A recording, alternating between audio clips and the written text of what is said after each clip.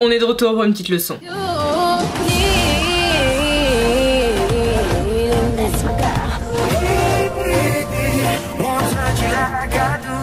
Salut mes poulets J'espère que tout le monde va bien, j'espère que tout le monde est bien assis, tout le monde est prêt parce qu'aujourd'hui on n'est pas là pour rigoler, on n'est pas là pour enfiler des perles. Alors tous les membres de la fachosphère sont bien entendu invités à partir de cette vidéo. Je sais que vous aimez tourner sur les sujets pour troller au maximum et que je vais vous retrouver encore dans les commentaires, devoir vous bloquer, devoir supprimer vos insultes et tout le reste, disant que nous, nous victimisons quoi qu'est-ce, donc vous pouvez partir dès à présent? Allez-y, je vous laisse deux secondes là.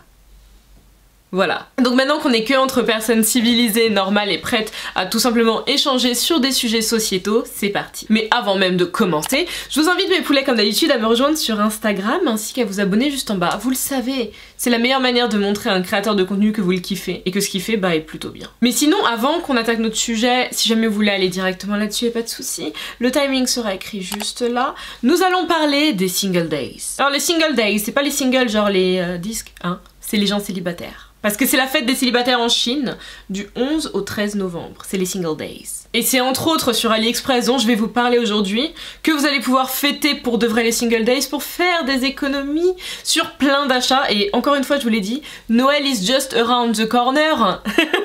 Donc faites-vous plaisir. À savoir AliExpress, on sait que de manière assez générale, il y a pas mal d'idées arrêtées là-dessus, comme quoi c'est du dropshipping, comme quoi ils ont ci, ils ont ça, ils sont lents à la livraison, mais en fait beaucoup de choses ont changé. Savoir que déjà AliExpress n'est pas du dropshipping, parce qu'en fait c'est hyper simple. Pour celles et ceux qui achètent souvent comme moi, vous le savez, t'es en lien direct avec le vendeur, tout simplement. Et pour les temps de livraison, ça a changé. Pourquoi? Parce que même déjà ceux qui viennent de Chine viennent beaucoup plus vite qu'avant, mais maintenant vous avez aussi l'option pour acheter directement en Europe. Tu peux acheter depuis la France, depuis l'Espagne, depuis le Portugal, depuis l'Allemagne, depuis partout en Europe et ça arrive tellement vite. Et entre autres, vous avez vu depuis quelques vidéos que le visuel là, il est beaucoup mieux. Pourquoi? Parce que maintenant on a des nouveaux éclairages qui sont en fait de nouvelles softbox en plus de celles que j'avais initialement. Et ces deux-là viennent donc d'AliExpress. Je les ai reçues en l'espace de peut-être 5 ou 6 jours. Je les avais commandées, elles étaient en Allemagne, si je dis pas de bêtises. Dans tous les cas, vous aurez les liens euh, des produits que j'ai commandés. Alors malheureusement, bon, il y a eu un tout petit problème de taille, je me suis trompée là-dessus. J'ai commandé également un pull, je vous mets la photo juste là. Il est super canon, c'est sûr, mais le souci c'est que je me suis trompée sur la taille. J'étais censée le porter aujourd'hui, faire la meuf et tout. Mais voilà, je vous mets quand même le lien en bas parce que je vais le recommander. J'ai envoyé un message au vendeur pour expliquer ça. Je vais le recommander, vous aurez des photos sur Instagram et je vous ferai une petite story aussi pour vous donner un petit aperçu. Mais ce qui fait que bien sûr, vous avez des codes promo aussi pour encore plus profiter des single days. Je les ai notés parce que les gars, j'allais pas m'en souvenir. Il y en a un pour les nouveaux acheteurs, c'est Ali 105. Vous avez donc 5 euros de réduction pour 10 euros d'achat. Et pour ceux qui ont déjà acheté, le code c'est FR 4 fois le chiffre 1, save 5. 5 euros de réduction, des 35 euros d'achat. Tout sera écrit en bas, vous inquiétez pas, vous pouvez ranger le carnet là. Vous pouvez déstresser, vous pouvez respirer un coup, pas de crise de panique. Donc tout est écrit en bas, vous avez tous les liens en bas. N'hésitez surtout pas à me dire ce que vous avez pris, hein. Parce que moi, vous le savez, vous allez voir en story, maintenant elle a encore des nouvelles boucles d'oreilles, elle aura encore des trucs, oui. Parce que ces boucles d'oreilles là viennent également de chez Ali. De toute manière, j'en ai tellement, tellement, tellement, tellement. Donc voilà Revenons à nos moutons. Donc l'appropriation culturelle, on en a déjà parlé sur ma chaîne dans deux vidéos courant 2019. Mais pas beaucoup de l'appréciation. J'ai parlé très rapidement de l'appréciation culturelle et même pas du tout de l'assimilation culturelle. Donc on était vraiment que sur de l'appropriation. Et je trouve en fait qu'il y a certaines choses que j'avais dit dans mes vidéos qui étaient soit mal formulées, soit tout simplement je n'avais pas dit des choses que j'aurais dû rajouter à ce moment-là. Étant donné que certains en DM Instagram m'ont demandé s'il était possible de revenir là-dessus, avec plaisir. L'appropriation culturelle, sa définition. C'est donc le fait de prendre, de voler, d'utiliser le bien d'une tierce personne sans rendre à César ce qui lui appartient. C'est-à-dire sans que le créateur de cette chose en tire les bénéfices. L'appréciation culturelle, sa définition.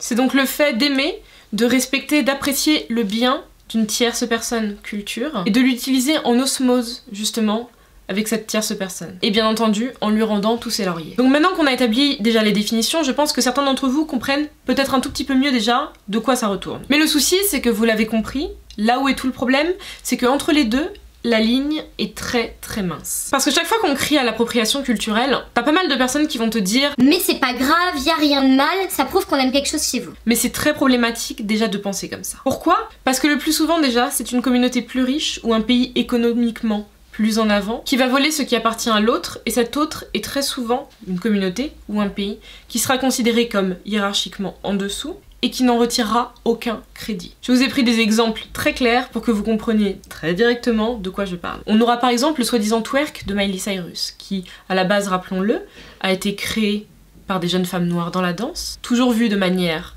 très sexuelle, pas bien, sale, mais quand Miley Cyrus a commencé, et quand des jeunes femmes blanches en Russie, pour beaucoup, ont commencé à donner des cours de twerk, c'était devenu tendance. On va également parler des prétendus breads de Kim Kardashian. Ou encore, bien sûr, celle qui m'exaspère tous les ans, les tenues des natifs américains utilisées par des jeunes femmes blanches lors des festivals de musique. Puis surtout, cette justification, vous savez, de... C'est pas grave, ça prouve qu'on aime quelque chose chez vous, ou vous devriez être content qu'on utilise ça. Ça prouve encore une fois une chose, que la personne, en fait, qui se place en tant que voleur, en fait, si on peut dire les choses crûment comme ça, a ce sentiment que sans elle, sans sa communauté qui reprend cette chose-là, la culture en face n'a pas de valeur. Et qu'on avait besoin en fait de l'arrivée d'une forme de messie, ce qui n'est absolument pas le cas. C'est-à-dire que les femmes noires et les femmes de plein de pays qui ont justement mis en avant les tresses, mais on va prendre l'exemple des femmes noires pour les nattes collées par exemple, n'avaient pas du tout besoin que Kim Kardashian se ramène et vende des tutos sur internet en appelant ça les Kim Kardashian Braids. Parce que nous utilisons ces coiffures depuis la nuit des temps, ok? Depuis que mes cheveux ont poussé sur mon crâne et que ma mère a attendu que je sois en âge, tous les 3-4 mois, j'ai des tresses sur ma tête. Vous le savez, vous le voyez, et moi je le sais depuis que je suis née. Ça n'a rien changé à nos vies, nous n'avions pas besoin de Kim Kardashian pour ça. Et pareil pour le soi-disant twerk inventé par Miley Cyrus, c'est le même problème. Parce que très souvent aussi, il faut que vous compreniez que cette chose qui a été volée, quand elle est utilisée au sein de sa communauté mère, si je peux l'appeler ainsi, elle est vue négativement. Mais par contre, quand ces voleurs, ces appropriateurs culturels, on ira dire, l'utilisent, c'est là que ça devient tendance et que ça devient cool. Je vous ai également pris des exemples en tout genre. On aura les breads, quelle qu'elle soit. Les grosses boucles d'oreilles que portent surtout à la base les filles noires du Bronx et du Queens. Le twerk, pour revenir là-dessus. Le wax, même si pour ce tissu, il est vrai que on a eu pas mal de superpositions, de créations par telle personne, revendiquées par d'autres, popularisées par certaines, donc ça reste quand même un peu flou, mais tout de même, ça rejoint des vêtements traditionnels le préciser, les yeux asiatiques en amande, ou encore le voile féminin. Pour vous donner encore plus de matière, parce que je pense que déjà des exemples on en a pêle-mêle, mais souvent il y a des personnes je pense qui ont besoin qu'on leur en balance au maximum afin que vous puissiez assimiler ce en quoi ce n'est pas normal. Si on reprend par exemple l'arrivée de Serena et Venus Williams dans le monde du tennis, lorsqu'elles arrivaient sur le cours de tennis, c'était très fréquent qu'elles aient des braids avec des perles au bout. Vous savez comme on fait très souvent quand on est au primaire et au collège. Mais le souci, c'est qu'elles ont raconté dans plusieurs interviews, et leur père également, qu'elles ont essuyé des très mauvais regards, qu'elles étaient prises de haut, et qu'à plusieurs reprises, elles ont entendu le mot ghetto à leur rencontre. Et par contre, si une Kim Kardashian va débarquer avec ses braids avec des perles, ou n'importe quelle fille, je prends Kim Kardashian parce que c'est la numéro 1 là-dessus, vous le savez, et qu'elle sera là sur un tapis rouge avec, dès le lendemain, vous êtes sûr que dans Vogue, Vanity Fair, Glamour, Gradia et tous les autres, il y aura des articles et des photos pour l'encenser et vous expliquer comment avoir la coiffure de Kim Kardashian. Parce que ce que vous comprenez pas, c'est que ce sont des codes propres à des communautés qui sont repris par des personnes qui ne sont pas conscientes de l'impact qu'il y a derrière. Pas conscientes pourquoi? Soit en fait par habitude, parce que ce sont des personnes qui reprennent constamment les codes des autres. C'est des filles blanches par exemple qui vont constamment se faire des braids sans se poser de questions. Ce sont les mêmes qui par exemple vont acheter un t-shirt où il y aura les épaulettes qui seront en wax, et ce seront les mêmes personnes qui vont songer à aller faire l'opération du Fox Eyes pour avoir justement des yeux comme ça au final. Ou bien bien entendu par manque d'intérêt parce que tout simplement ces personnes n'en ont rien à faire. Cette habitude dont je vous parlais juste avant, en Occident pour le coup, ça vient surtout du fait que ces peuples occidentaux ont très longtemps opprimé d'autres peuples, que ce soit des peuples sud-américains, des peuples natifs américains, des peuples africains, je parle d'Afrique du Nord et d'Afrique subsaharienne, des peuples asiatiques. Et donc à la suite de ça, il y a une forme de hiérarchie qui s'est créée en quelque sorte, qu'on le veuille ou non. Cette hiérarchie existe encore aujourd'hui. Raison pour laquelle on dit par exemple que la France est la grande sœur de l'Afrique. Mais donc cette même hiérarchie fait que les oppresseurs ont très souvent profité des opprimés et continuent aujourd'hui et trouvent ce comportement normal. Sauf que ça ne l'est pas c'est problématique et il faut que ça cesse. Parce qu'on assiste presque à de l'exploitation culturelle en fin de compte de la part justement de ces cultures dominantes. Les mots vont sembler peut-être gros, mais sauf que c'est ça. Parce que de plus en plus souvent,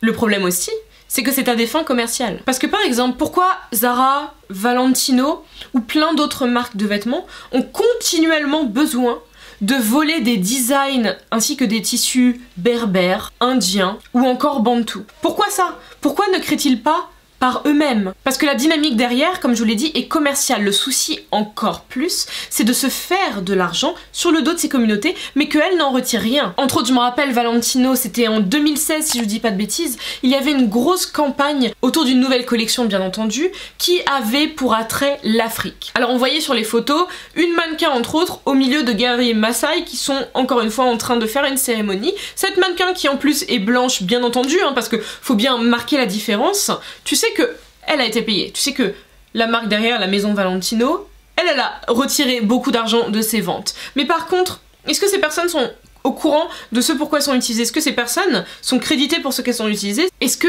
on leur rend à la hauteur de ce qu'elles ont donné réellement? Parce que c'est ça le problème avec l'appropriation. C'est que vous prenez en plus, quand vous osez faire de l'argent sur le dos, c'est encore plus drôle. Mais en plus, vous ne rendez absolument rien à César. Si par exemple, ce jour-là, la maison Valentino avait dit que peut-être, allez, 15% de ses recettes sur cette collection allaient être reversées à une association de je ne sais pas quoi, je ne sais pas quoi, je ne sais pas quoi, qui opère justement dans la région où ces guerriers Maasai-là vivent. J'aurais dit que c'est de bonne guerre, et que c'est très très bien ainsi. Le problème, c'est que c'est pas ça. C'est qu'ils sont grassement remplis les poches et ils sont partis. Parce qu'il faut que vous finissiez par comprendre qu'en fait, les personnes dites étrangères à l'Occident, les personnes dites de couleur également, on a toujours été pointées du doigt, voire même diabolisées pour nos cultures, qu'elles soient sur le plan vestimentaire, culinaire, capillaire, quel que soit le sujet. Et le souci, c'est qu'aujourd'hui, au 20 et 21e siècle, on est censé accepter qu'on nous vole ça et que ça devienne cool suite à ce vol. C'est-à-dire que quand c'est à nous, ce n'est pas bien, ce n'est pas tendance, ce n'est pas trendy, mais par contre quand c'est l'autre, l'oppresseur qui reprend tout ça, là c'est génial. Donc non, on n'accepte pas et ça n'a rien de normal. Parce qu'il est sûr que les cultures se mélangent totalement aujourd'hui. La limite est devenue très très fluide et il y a énormément d'échanges et c'est très bien ainsi. Mais sauf qu'il faut malgré tout marquer une certaine séparation. Mais cette séparation, quelle est-elle? Ça semble tout bête et c'est basico-basique, mais il faut déjà bien entendu vraiment apprécier la communauté et cette chose qu'on prend la communauté. Pas y voir un certain attrait. Pas se dire c'est à la mode donc je prends ça, je vais me faire l'argent donc je prends ci. Deuxième chose qui est tout aussi évidente à mon sens, mais qui est quasiment jamais faite, c'est d'inclure en fait les personnes de la communauté à laquelle tu voles quelque chose. Ah, cet événement, cette chose, dès que c'est possible. Par exemple, pour la maison Valentino, lors de son défilé de la Fashion Week, il aurait été sympa d'avoir des mannequins justement noirs pour représenter quelque chose qui a été volé à la communauté noire. Ça semble tout bête parce que bien sûr, il y avait encore une fois le pauvre seul mannequin qui représente toute la diversité à lui seul, tu sais. Donc après, c'est sûr que vous ne pourrez pas tout le temps inclure ces personnes-là, dès que par exemple une jeune fille blanche va aller se faire des breads dans un salon, ou dès qu'une personne va aller acheter un vêtement en wax, qu'est-ce qu'elle peut faire par rapport à la communauté noire? Pour prendre la communauté noire comme exemple, hein, étant donné que j'y appartiens, c'est plus facile pour moi. Bah je pense déjà, ce qui est assez honnête, c'est par exemple des moments comme toute la période Black Lives Matter, de s'intéresser justement à ce que vit cette communauté parce que c'est cool que tu prennes nos coiffures, c'est cool que tu prennes nos vêtements, c'est cool que tu prennes notre manière de parler, c'est cool que tu prennes notre manière de manger, mais est-ce que tu prends nos combats derrière? Non, pas du tout parce que tu n'as toujours pas notre couleur de peau. Et ça, on en a déjà parlé. Et c'est le souci principal. C'est de tenter de vivre à notre place parce que la personne blanche ne sera jamais à la place d'une personne qui est noire ou métissée, tu vois. Jamais tu pourras te mettre à la place d'une personne afrodescendante parce que ton pédigré n'est pas le même. Mais sauf que derrière, moi déjà, je préférais une personne qui par exemple mène au moins le combat avec ces personnes-là. Au moins de voir par exemple que toutes les filles que tu vois sur Instagram, les filles blanches qui font des breads et contre lesquelles on peste la plupart du temps parce que c'est normal, ça nous pique d'avoir été raillées et pointées du doigt pour ces, ces coiffures-là et qu'aujourd'hui elles soient devenues tendance, tu vois. Nous, ça nous pique vraiment en notre fort intérieur. Mais donc que ces filles-là, quand tu les vois partager plein de contenus relatifs à Black Lives Matter, là je trouve ça normal trouve ça normal parce que tu as pris une chose de ma communauté, est-ce que les moments où nous on a besoin de force, tu peux être là? Même si, je tiens à le dire, ça n'efface pas tout. Oui, parce qu'il faut pas que vous pensiez qu'étant donné que par exemple, vous avez pu euh, retweeter quelque chose ou partager quelques posts par rapport, je reprends à Black Lives Matter, pensez pas que justement ça vous permet de tout prendre. À la base, justement, c'est ça le problème. Le problème, c'est de vous rendre compte que quelque chose qui a été pointé du doigt quand ça appartenait à cette communauté-là, est-ce que c'est normal que vous vous le preniez et que ça devienne cool? Bien entendu, la réponse est non. Ce n'est pas du tout normal. Ce n'est pas normal que Bella Hadid et Kendall Jenner ait rendu cool le Fox Eyes et que cette opération devienne normale alors que cet œil-là que je viens de faire a été pointé du doigt quand il appartient à la communauté asiatique. Pour finir, je sais que dans les commentaires, il y en a certains qui vont arriver pour me parler, bien entendu, des femmes noires qui portent des perruques, mais wake the fuck up. Parce que déjà, cette chose-là que certains vont m'énoncer, c'est ce qu'on appelle de l'assimilation culturelle. C'est ce que ferait par exemple une personne blanche née au Ghana qui en grandissant va décider de se faire des braids. C'est de l'assimilation culturelle par rapport à l'endroit où tu vis, première chose. Deuxième chose, tu n'as pas ton mot à dire quand tu fais partie de la communauté qui opprime et qui a fait entre autres comprendre à la femme noire depuis la nuit des temps que ses cheveux naturels ne sont pas assez bien et que si elle ne rentre pas dans les cases de la beauté occidentale, elle ne sera jamais bien. Oui, je tenais à revenir là-dessus parce que je sais que ça va venir. Je sais que malgré que j'ai fait une vidéo juste sur ce sujet-là, certains n'ont toujours pas compris que la femme noire qui porte une perruque lisse, ce n'est pas de l'appropriation culturelle. Parce que en plus, on va le rappeler, les cheveux lisses, ce n'est pas propre uniquement aux blancs. Voilà. Mais donc, voilà pour aujourd'hui. J'espère que cette fois-ci, en amenant d'autres exemples et en amenant également d'autres manières de vous dire les choses et surtout de souligner ce que sont l'appréciation culturelle ainsi que l'assimilation, vous aurez beaucoup mieux compris en fait le pourquoi du comment. Alors après, bien entendu, chaque fois où j'aurai à nouveau des jeunes filles, parce que c'est très souvent des jeunes filles qui viennent me voir en DM Instagram et Twitter pour me dire qu'elles sont blanches mais qu'elles ont vraiment vraiment envie de se faire des braids parce qu'elles trouvent ça super beau et qui me disent mais qu'elles veulent pas faire de l'appropriation culturelle et qu'elles ont peur et qu'elles savent pas quoi faire. Est-ce qu'elles doivent le faire, est-ce qu'elles doivent pas le faire? Parce que elles, elles trouvent ça juste beau et qu'il y a rien comme arrière-pensée. Je continuerai à dire à ces filles que de base c'est juste une coiffure, mais que c'est une coiffure qui a une énorme portée et que cette portée là, il faut la prendre en conséquence. Il faut également penser au fait que tu croiseras peut-être une fille noire dans les transports en commun qui va mal te regarder